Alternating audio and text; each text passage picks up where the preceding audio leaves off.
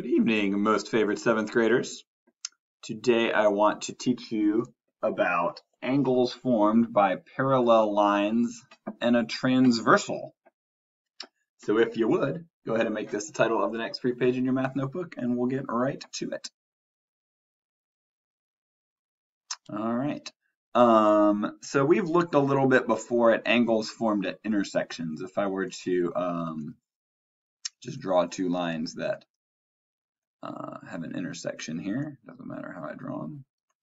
We've looked at these angles formed where the two lines intersect. And there's really two things that keep coming up over and again, over and over again. The first is called vertical angles. Those are angles across the intersection. So those two angles are vertical.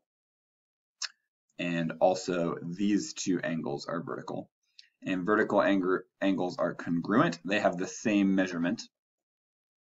So I don't have any measurements here, but if I did, you know, if I knew, I'm going to estimate, if I knew this one was 30 degrees, then I would know this one was 30 degrees. Or uh, if I knew this one was 135 degrees, I would know this one was 135 degrees. Those are called vertical angles. And then we've also used a lot when we see these intersections, we also use supplementary angles a lot. So if I take any one angle, it's part of two supplementary sets. So if I knew this one, I know this one and the one next to it, you know, they make a supplementary angle set here. Or I could go the other direction. They also make a supplementary set with this one. So those are the two uh, types of angles that keep coming up over and over again at intersections. And we're going to be looking at angles like that today in a slightly more complicated case. Um, we're going to talk about parallel lines and transversals, so I need to tell you what those are first. So let's start with parallel lines. If you haven't heard of these before, parallel lines are any lines that would never intersect no matter how far you extended them.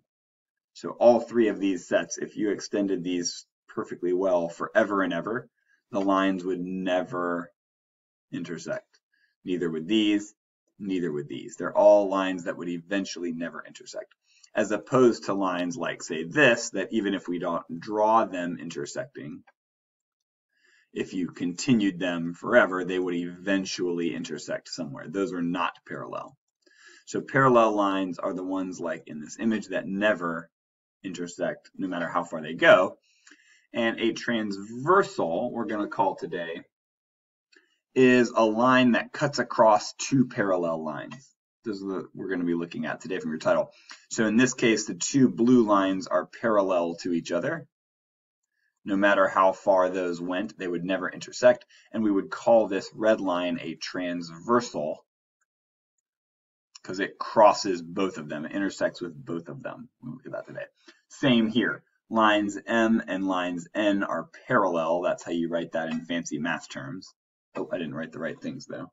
It's not M, L in it. It's M and N are parallel to each other. That's how you write M is parallel to N in fancy math terms.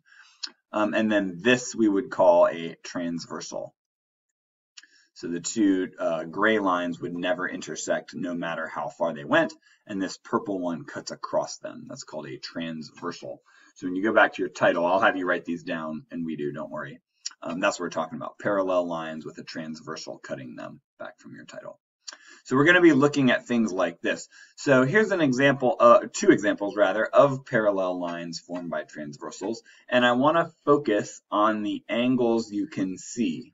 So if we look at their intersection points here and here, look closely at the four angles around each intersection and see what you notice and do the same on the other one. Here's the two intersections and they've got the angles numbered.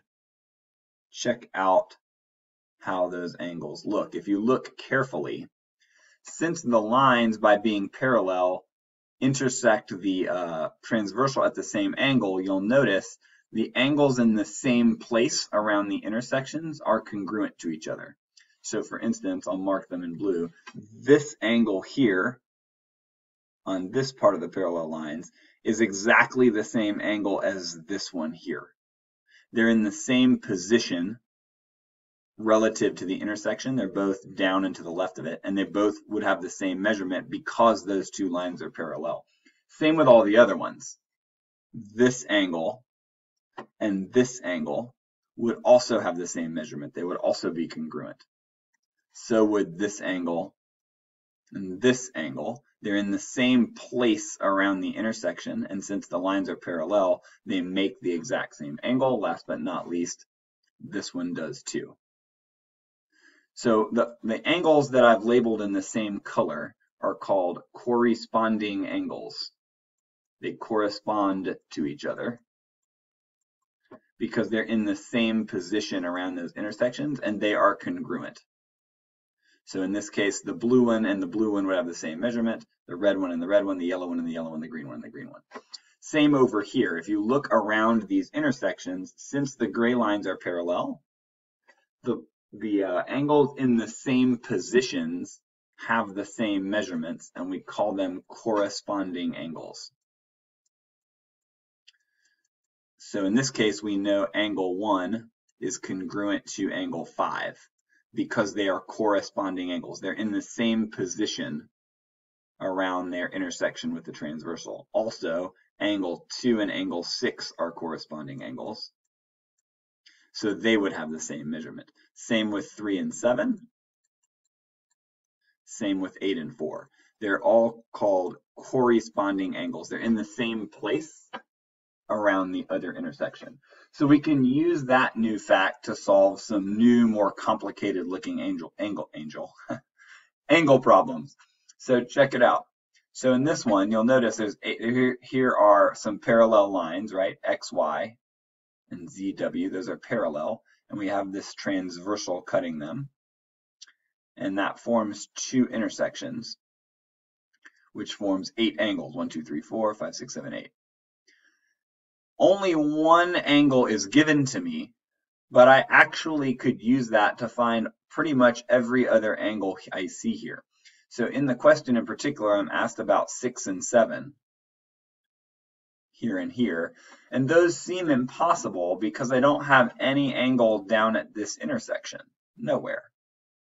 But since I do have some up here, I can use this idea of corresponding angles to figure some things out. So this one's 154. So if I go down here to angle 5, that is a corresponding angle to the 154. So I actually know it too.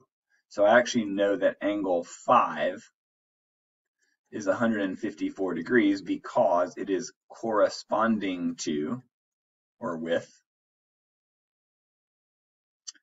uh, the other one that's 154. So that gives me a way into these angles down here. Now I can use that to find the rest. That's going to tell me 6. Now I know angle 6 is also 154 because it is vertical to angle 5, so they match. And then I can use that to find angle 7, uh, which I need to do. So angle six and seven or angle five and seven, it doesn't matter which pair I choose. I can do these two make a supplementary or I can do these two make a supplementary. Won't really matter. Um, I know that that 154 plus whatever 7 is makes a supplementary 180 set.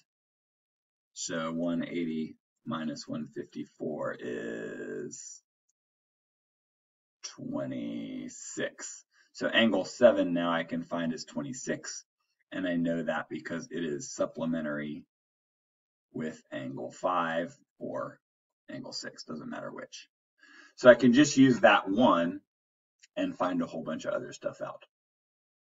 All right, open up your notebook. Let's start with some, oh, before you open up your notebook, I'm so sorry, forgot to mention, close that notebook. Last thing, this only works with parallel lines. You'll notice here line L and line M are not parallel. If we extended them, they would meet somewhere out here. And if these two lines are not parallel, the angles are not the same. I think you can tell pretty much that 2 and 6, they're in the same position around the intersection, but they're definitely not the same angle because those are not parallel. Same with 1 and 5. 5 is much wider than 1. So this only works with parallel lines. All right, now open your notebook. Pause here. First thing I want you to do is write down these vocabulary words we got. We got vocabulary, uh, parallel lines, transversal, and corresponding angles. So go ahead now and pause here and get those three important vocabulary words down, and then unpause when you're ready for an example. All right, so here you'll also want to pause and write down. We're going to use just this one measurement given to find angle 7 and angle 8. So let's do, um, I'm going to have to probably label some more angles. As with all these problems, they just have 2, 7, 8. I might do 2. I'm going to label the other ones 3, 4, 5, and 6. That way I can um, refer to which ones I'm talking about.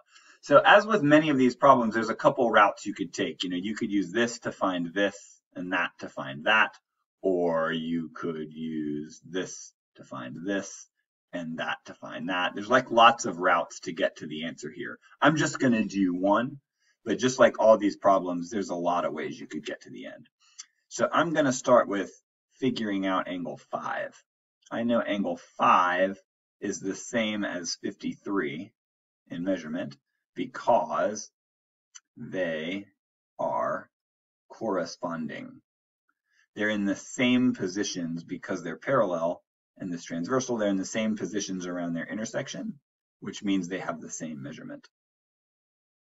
So now to me, again, I could go to seven and then go to eight, but I'm going to go to eight first.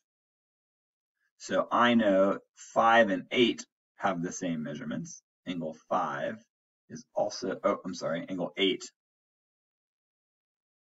is also 53 degrees. And I know that because it is vertical to, or vertical from, I never know which way to say that, vertical from angle 5. So 5 is 53, so it's 8. And then I can use 5 to find 7, or I can use 8 to find 7. Doesn't matter. Either way, I'm going to have a supplementary set. So angle 7 is going to be the rest of that 180. So it's 180 minus 53. 180 minus 50 is 130. Minus 3, I think, is 127. So angle 7 is 127 because it is supplementary with angle 5 or 8. Doesn't matter which. And that's how you do it. So if you know how that corresponding angle business works, you can solve whole new types of these angle puzzles where you can go from here to here and here to here and all that good stuff. Uh, one last thing to write before we stop. Um, I do want to remind you one last time, this only works for parallel lines, and I think it's important that you write that down. In this case, J and K are not parallel. And you'll notice because of that, the angles definitely don't match. D and F are corresponding angles. They're definitely not the same measurement. C and H, same business. If the two original lines are not parallel, you do not have um, matching angles around the intersection. Okay? Y'all, that's how you use uh, corresponding angles in problems involving parallel lines and a transversal. Hope that made some good sense to you. You guys are making great progress with these other angle problems. Hopefully this was um, just as helpful. Uh, if not, give this video another watch, and I know you'll come to class tomorrow super confident. And if you do feel good about this, you're all set, and I'll see you tomorrow.